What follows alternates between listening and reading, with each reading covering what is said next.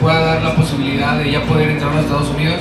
Eh, venimos ya trabajando eh, desde que empezamos con, con buscar esa oportunidad, ya que ahora eh, ha estado un poco más complicado poder emigrar con la música para, para los Estados Unidos, pero esperemos que en este año ya podemos llevarla para allá, estamos con muchas ansias, estamos estrenando disco también, que es La Vida Alegre, en ese disco ya está incluido el corte que también tenemos recientemente, que es Sorry.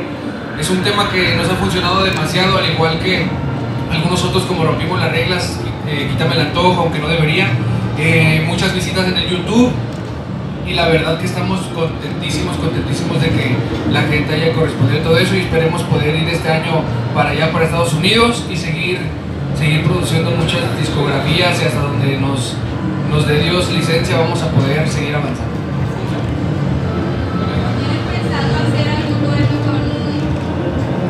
Pensado hacer algún dueto con otro artista? Pues tenemos la... Queremos hacerlo, todavía no han llegado la oportunidad de que nos inviten, pero pues estamos abiertos a cualquier género, ya sea reggaetón, lo que sea, estamos interesados en, en hacer una- un dueto con, con quien sea. Si ustedes tendrían que proponer, ¿a quién, a quién le dirían? Pues no sé, la, la gente, yo, yo haría esto, yo pondría, eh, no sé, alguna encuesta en, en nuestras redes sociales para ver con qué les gustaría escuchar a, a Impacto Sinaloense. Este, a mí me gustaría en lo personal, no sé, con mariachi. También, también al fin de cuentas la gente es la que manda, la gente es la que decide qué es lo que, que le gusta, dónde nos gustaría ver, ellos son los que mandan.